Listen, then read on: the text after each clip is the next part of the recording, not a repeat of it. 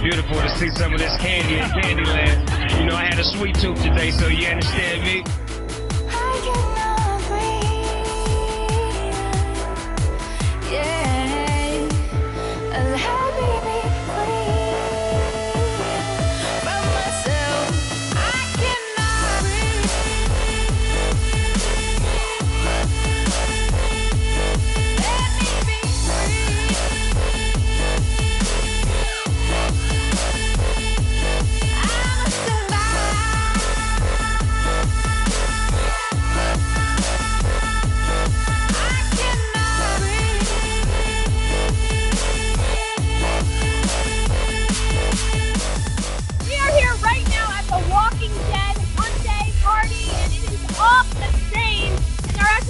Zombies on chains here as well.